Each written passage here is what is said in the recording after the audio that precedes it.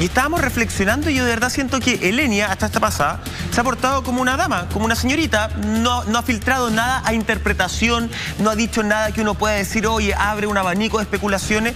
Pero Héctor, por el contrario, sí dice cosas que, no sé, como que abren mucha especulación, no dice qué quiere decir con esto.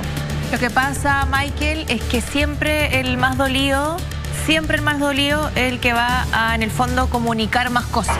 Y se nota, yo de verdad puedo percibir que él está muy dolido, que él en verdad tiene a lo mejor rabia por la situación que ocurrió eh, y, se nota porque eso es como del despecho, como del dolor que uno sube ese tipo de cosas. Y claro, Eleni a lo mejor está más calma, eh, está más cautelosa, eh, ella no es tanto de publicar mucho su, su, vida privada, sino que más bien de sus trabajos y todo eso. Yo siento que él realmente está dolido y, no sé si es la manera en el fondo de canalizar su dolor publicando estas cosas por redes sociales porque no sé si le hace bien tampoco a ella, deja entrever cosas que para mi parecer no al lugar, menos a una mujer, a una persona que fue tu pareja. Pero bueno, será la forma que él en este minuto tiene de votar, digamos, lo, que siente. Votar su dolor, su rabia. Y parte de esa rabia la expresó también en la Cámara de Intrusos en imágenes, estás viendo, porque ayer encontramos a Héctor Morales, justamente.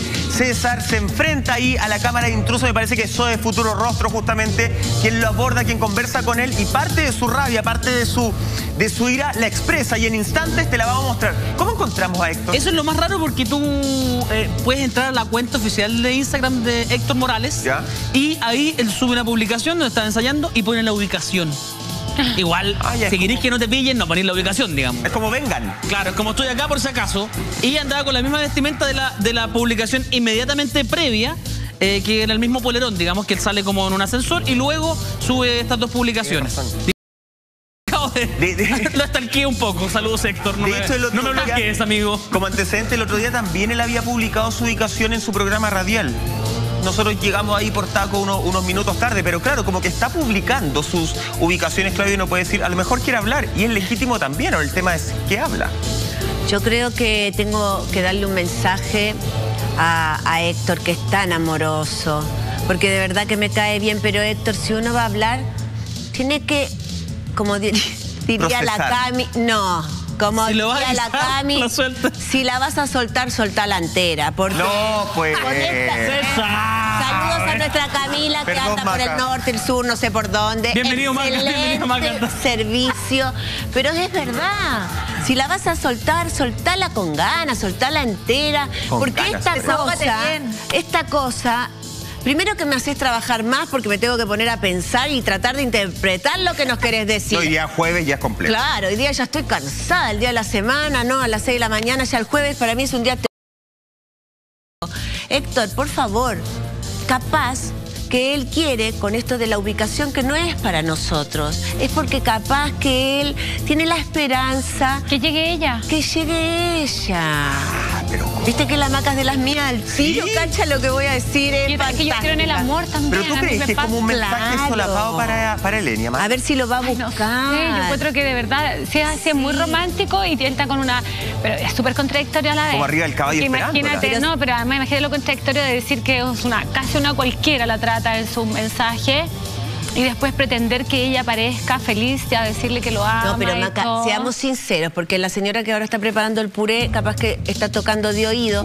y él no dijo nada de, de, ella. Nosotros estamos especulando que, quizás la frase es para ella. Pero es que eso es lo grave, porque y abre para especular. y si no fuese así, y él sueña con que llegue esta princesa a pedirle disculpas a la puerta de la radio, a pedirle disculpas ahí donde lo pillamos anoche. Ya, pues, Clau, es que, a ver, tu punto es súper lindo y es súper amoroso. Pero también la maca, con lo que dice, está representando un abanico de especulaciones. Puede ser que tal vez a Héctor Morales eh, le gusta esa canción. Y subió la frase porque le gusta. Pero justo subirla en este minuto, maca, es para darnos en el fondo no sé, le da anís al canario, pues para empezar a, especular. ¿Le anís El canario come anís, por supuesto, semilla de maravilla. Es para empezar a especular, no, están dando material. No, sí, además que yo creo cuando hablaban recién de que e, él ha hablado todo el rato y ella no, ella tampoco es tan conocida en Chile, o sea, somos justos. Pero Morales es un gran actor, pero él es seco, seco. Yo cuento que uno de los buenos actores que hay, un gallo muy talentoso, muy famoso, muy conocido.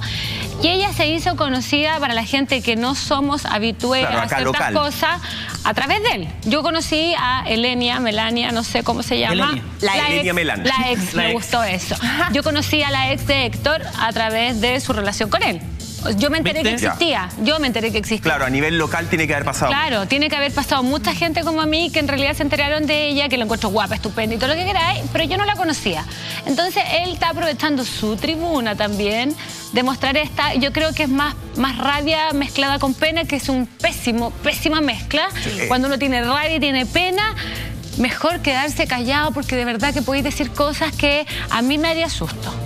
A que a mí verme en esa situación yo con rabia y pena mezcladas, mejor me tapo la boca y pongo un qué terrible. Podríamos decir que es pésimo servicio el que se está dando Héctor. Pero atención muchachos, porque ojo, hasta ahora estamos con Héctor con las cosas que ha dicho Héctor. Pobre Héctor que está sufriendo. Pero César, no es Héctor el único y venga para acá justamente, párese acá. No porque acá tenemos una publicación hace... Ah.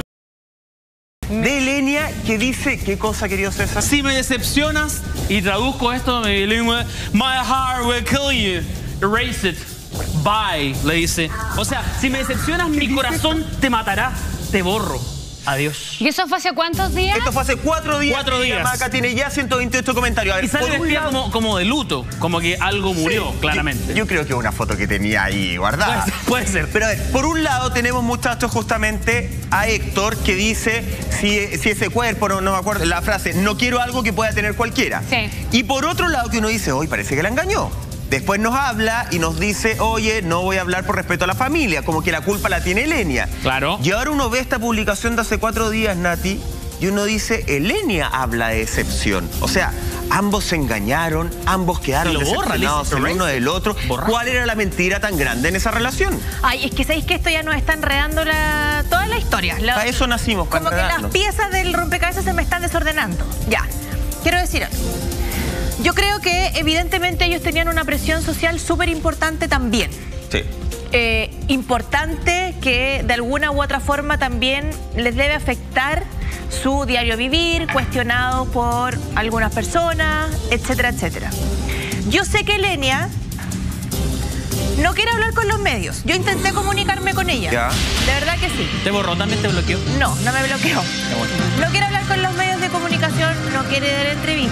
Lo que sí ella dijo, y fue categórica, y a mí me lo comunicaron, era que algo se quebró, pero hace muy pocos días.